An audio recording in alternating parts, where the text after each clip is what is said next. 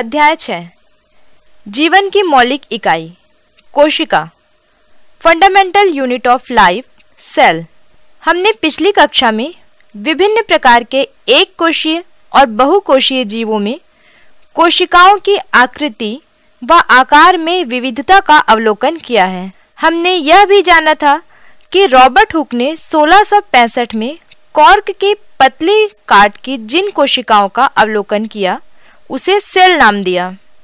आइए, हम विभिन्न क्रियाकलापों के माध्यम से कोशिकाओं की व्यवस्था व कार्य को समझने का प्रयास करें। 6.1 तरह तरह की कोशिकाओं का अवलोकन।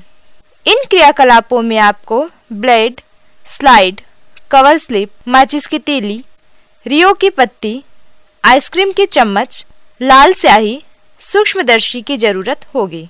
क्रियाकलाप एक माचिस की तीली की काट में कोशिकाओं का अवलोकन। माचिस की तीली की काट देखने के लिए माचिस की एक तीली लेकर एक घंटा पानी में भिगोकर रखें। अब ब्लेड से इसकी पतली काट लेकर एक स्लाइड पर पानी की बूंद में रखें। कवर स्लिप से ढकें और सूक्ष्मदर्शी के निम्न आवर्धन में ही इसका अवलोकन करें, जैसा कि चित्रानुसार दिखाया गया है। अपने बनाए गए चित्र का मिलान दर्शाए गए चित्र से करें।